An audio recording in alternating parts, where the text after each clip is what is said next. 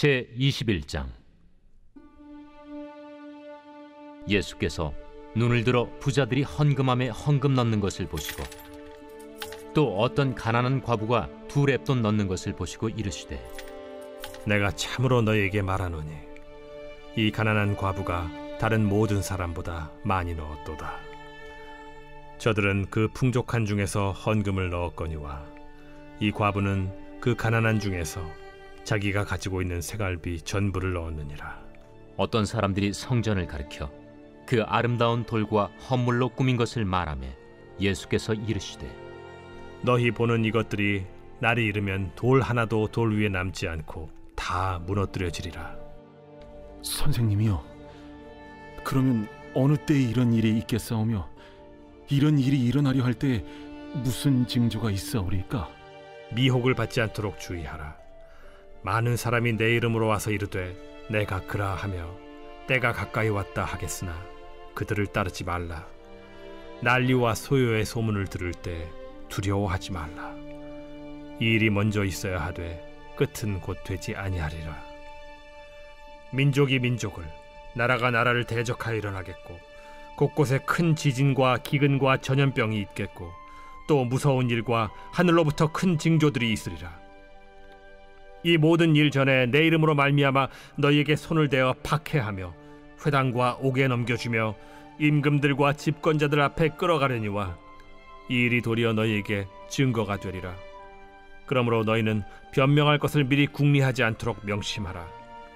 내가 너희의 모든 대적이 능히 대항하거나 변박할 수 없는 구변과 지혜를 너희에게 주리라. 심지어 부모와 형제와 친척과 벗이 너희를 넘겨주어 너희 중에 며칠 죽이게 하겠고 또 너희가 내 이름으로 말미암아 모든 사람에게 미움을 받을 것이나 너희 머리털 하나도 상하지 아니하리라. 너희의 인내로 너희 영혼을 얻으리라. 너희가 예루살렘이 군대들에게 에워싸이는 것을 보거든 그 멸망이 가까운 줄을 알라.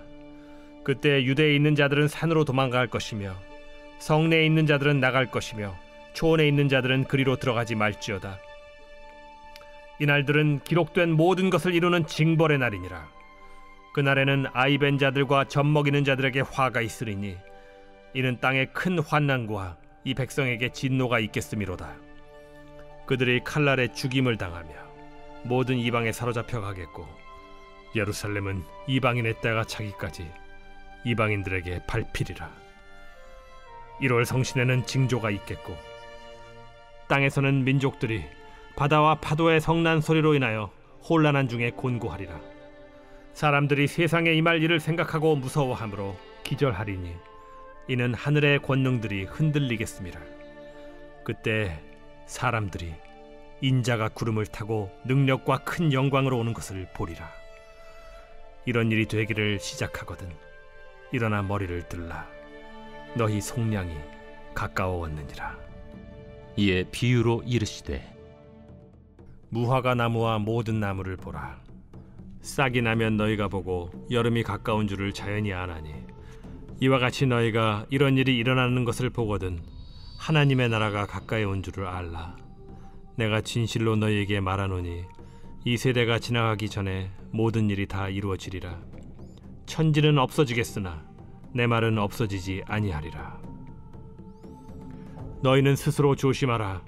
그렇지 않으면 방탕함과 술 취함과 생활의 염려로 마음이 둔하여지고 뜻밖의 그날이 덫과 같이 너희에게 임하리라.